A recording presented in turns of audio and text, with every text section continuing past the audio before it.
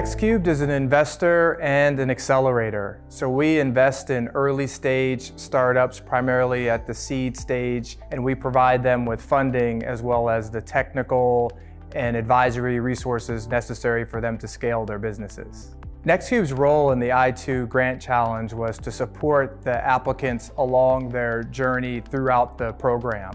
It's a $1 million milestone-based grant challenge that lasts about 12 months and includes uh, grant funding and specialized mentorship. It's really based off the thesis that we can do the most good and advance the most public health benefit by helping innovations scale and succeed and reach sustainability. And so we believe that your zip code, your age, your race, your um, gender shouldn't affect your life expectancy.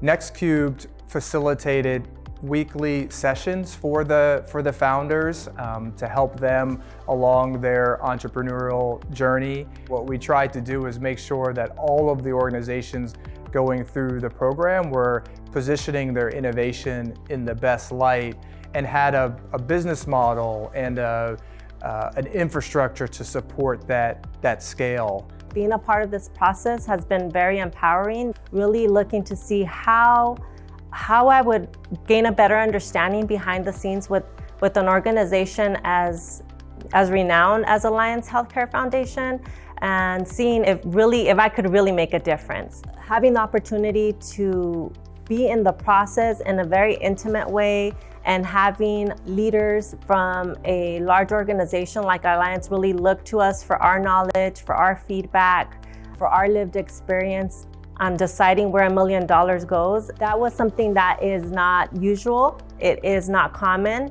My experience with Alliance Healthcare and Nex Cube has been unique. Um, I really can't compare it to other organizations other than they have proven to be sensitive to the community's needs.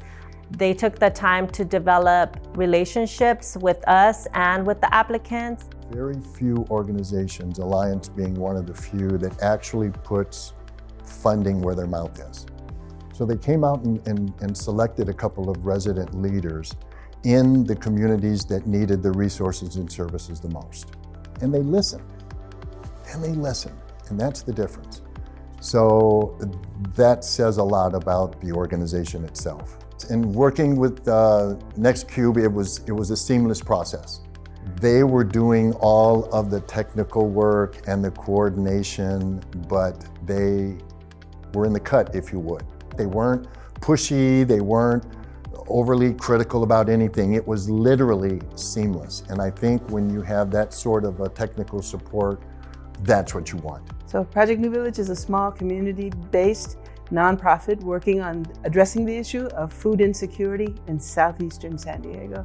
So what made this experience unique with uh, Alliance Healthcare Foundation? One is the duration. You know, I'm a nonprofit, so we write grants all the time, and no one has this long incubation period that's so helpful. This last year, we participated in coaching sessions facilitated by Nex Cube, and now we feel really empowered. There was planning, there was marketing, there were steps that we could follow, there were models that we could use, and we had a wonderful coach. He was really good for us. He wasn't shy to say, that's not good, or to try again. And he stayed there every week uh, working with us, and it was just the best. Urban Restoration Counseling Center is an organization that provides mental health services to people of color by people of color. We entered the I2 Challenge hoping that we would mainly be recognized as an organization that is doing really good things in the community. I was a little bit nervous, um, but we were encouraged to just go ahead and try it anyways. And thank goodness we did because usually you apply for a grant and you just wait to hear back yes or no.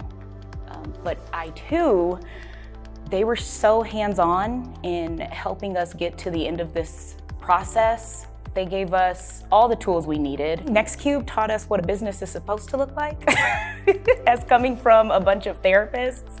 We just wanted to be able to provide the service to the community.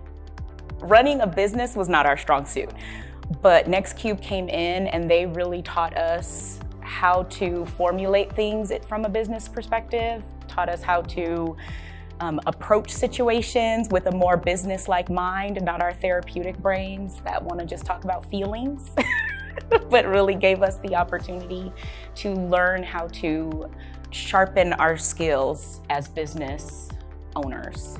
We believe Alliance Healthcare's approach to the I2 Grant Challenge has the opportunity for all of us within both the for-profit and not-profit world to rethink how we're structuring our investment. Engagement is something that we at Nex Cube are super excited about, and we hope that other foundations adopt this same process of really thinking about not just what they can provide financially, but what other ways they can add value to the organization. Nex Cube, keep up the good work, man. You guys are doing it. You're knocking it out of the park. You're, you're great partners, and, and the seamless portion is, is that's what's important to me. Supporting efforts like this, you are contributing to the health in their communities. Nex Cube was, like I said in the beginning, amazing. Yeah, I think that, you know, by the example that has been shown here and the wins, that you're doing a good job. I, I just continue more of that, you know, cultural responsive